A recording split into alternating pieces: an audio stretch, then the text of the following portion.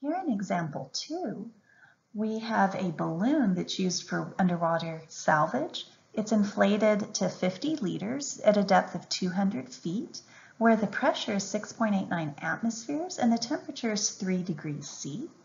The balloon rises to the surface where it's 22 degrees C and 0.988 atmospheres. What is the new volume of the balloon? Well, in this problem, they're giving us two sets of conditions. We start off with this balloon inflated underwater, and then the balloon comes up to the surface where it experiences a different pressure and temperature, and so that will give us a new volume. So this is looking like a combined gas law equation. Now, since I'm running out of room, I'm going to write down that equation up top here. The equation says P1 V1 over T1 equals P2 V2 over T2. So we've identified the equation that we need to use, and let's look for our given and our unknown. I'll do that in the form of a variable list over here.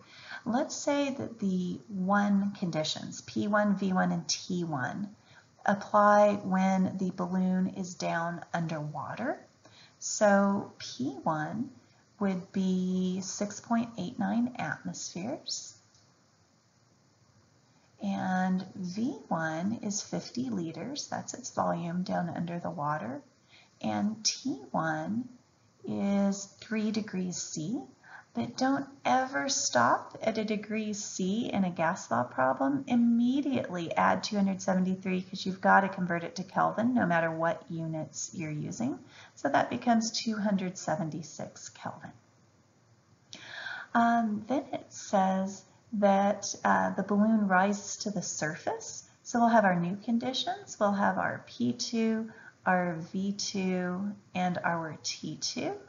And at the surface, let's see, the pressure at the surface is 0.988 atmospheres. The volume at the surface is our unknown, that's what we're asked to find, and the temperature is 22 degrees C, but once again, we'll want to add 273 to that, and I believe that gives us uh, 295 Kelvin for the temperature. Okay, now I'm going to run out of room on this problem because there's a lot of numbers in this equation. So I want to point out um, something that really trips up people when they're doing calculations with the combined gas law having the variables down in the denominator just cause all sorts of, of problems for people. So the first thing I recommend we do is, as we're, we're solving this equation is basically get rid of the denominator. We can do this thing called cross multiplying. When you have two um, fractions that are equal to each other, you can multiply um, you can cross multiply and have two things that are equal to each other. So if I take P1 V1 times T2, so I'm multiplying everything that's on that branch of this X, that's going to be equal to everything multiplied together on the other branch of that X, which is going to be T1, P2, V2. Gets real confusing with the ones and the twos here. So do your best to keep all of those straight. That's where people most often make mistakes, is, is confusing the ones and the twos. Hopefully I don't do that before this example is over. Um, let's see, the thing we are looking for is V2. So if I'm going to get V2 by itself, I'm going to need to divide both sides of the equation by T1 and P2 to make those cancel out. If I do it to the right-hand side, I've got to do it to the left-hand side as well.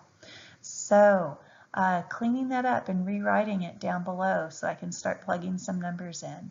V2 will be equal to P1 V1 T2 all divided by T1 and P2.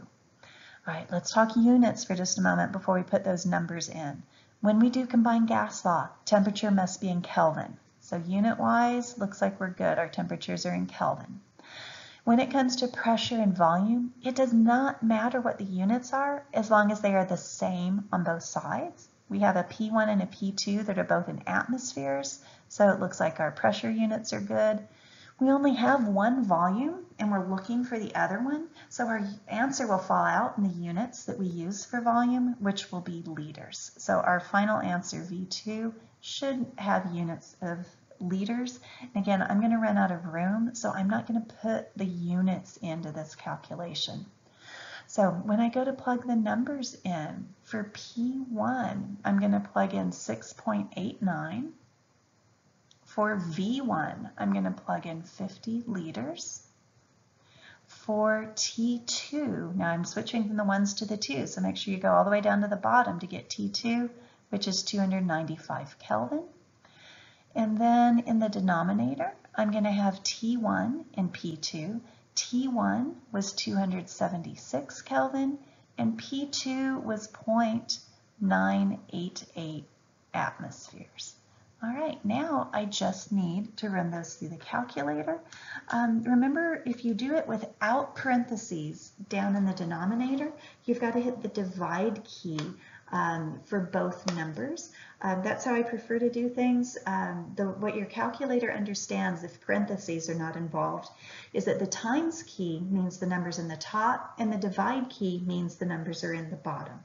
So if I'm going to run this in my calculator, I'm going to take 6.89 times 50 times 295 divided by 276. And now to tell it that this last number is in the bottom, I'm going to hit divide again. Divide by 0.988. And again, that's all without parentheses. And in the end, I end up for my calculator with a volume of 373 liters.